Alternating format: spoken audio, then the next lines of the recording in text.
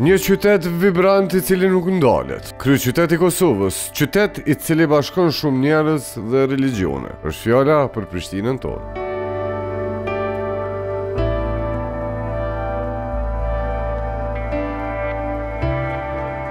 Me gjithë këtë popullatë ndër shekuj, Prishtina është e mbushur me objekte të ndryshme kulturore dhe religioze, që për shkak të mos punës së institucioneve shpeshherë janë harruar. Tashmë kemi një faqe e cila po tenton të afrojë më shumë turistët e huaj në vende jo të zakonshme të Prishtinës.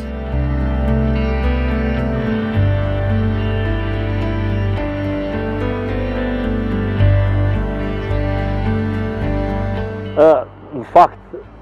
Po vijnë na, po si na të port, është ide që domethënë krejt qytetet tjera të botës e kanë, është domethënë, mm, jena tu folë për Hidden Gems of Prishtina, që përndryshe i bjen ose perlat, ose rubinët, ose ato farë, të bukurat e mshefta të një, një, qytetit, edhe që është tash, domethënë, secili qytet në botë e ka dhe në një mënyrë e kena ide që edhe në Prishtina pse jo, pse mos me pasë, po duhet me pasë. Duhet me pasë një diçka që është si një farë platforma alternative e asaj rutës standarde që që i ofrohet turistave ose njerëzve që që që dinë për Prishtinë, se zakonisht është zakonisht jepet veç një një rrugë për Prishtinë, që e kam fol, e kena përmend disa herë që tashmë e dinë. Fillon prej katedrales edhe përfundon te muzeu etnologjik, edhe veç qajo është kurgjo tjetër. Edhe Hidden Gems of Prishtina e ofron një farë liste pak më ndryshe që në këtë rast i kena njëzet monumente, edhe lidhet me me me me disa monumente të cilat i kena pa të arsyshme për me i fut për me i fut në, në Hidden Gems of, of Prishtina.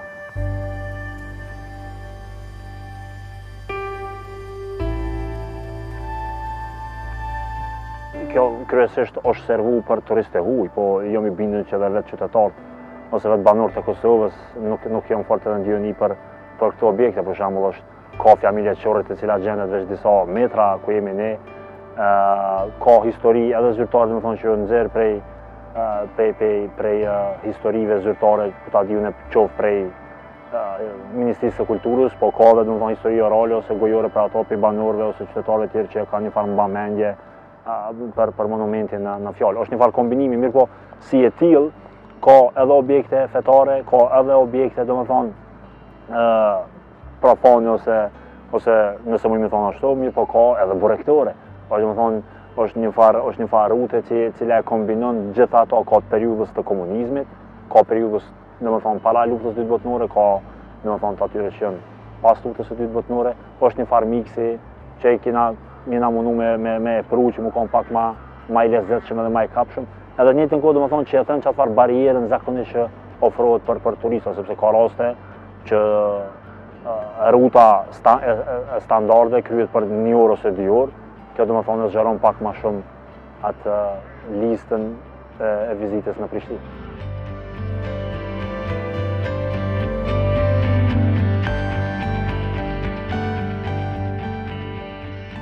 Po, domethënë lista që përmendi edhe Muki lista e parë, ose faza e parë e projektit, përfshin këto vendet, monumentet që kanë të bëjnë, domethënë, periudhat të ndryshme historike dhe kulturore, domethënë, të Prishtinës, po përveç atyre kemi përfshi edhe trashëgiminë shpirtërore dhe materiale, duke përfshi zejtarinë, e kemi filigranin që është përfshime, domethënë, është Krenare Rakovica, që është një filigraniste e vetme femër në Prishtinë, pastaj kemi edhe, Prishtina është e njoftun për artin dhe kulturën urbane, është i përfshim street arti që gjendet në pjesën e qarkrrugës së Prishtinës. Domethënë, ne e dimë që në rrugën B, po edhe te rrethi i Fushë Kosovës, përmes Meeting of Styles Kosova e kemi përfshi ato, por po një pjesë e madhe edhe qytetarë të Prishtinës, po sidomos vizitorë vendorë, vizitorë e turistë të huj nuk e dinë për atë pjesë, është e neglizhume, domethënë, gjendja nuk është aspak e mirë, po arti që është i paraqitur aty është i jashtëzakonshëm.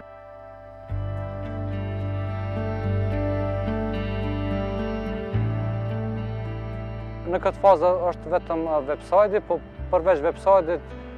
kemi prodhu disa stikersa, domethënë kështu në këto 10 lokacione, të cilat janë të vendosura tashmë dhe njerëz përmes, vizitorë të huj përmes barkodit do të kenë qasje të drejtpërdrejtë në website dhe në secilën pikë kanë informacione të përgjithshme një përshkrim për lokacionin ose monumentin, për orarin e punës dhe e kanë një hartë ku mund Shumë lehtë ta gjejnë edhe e vendin atë.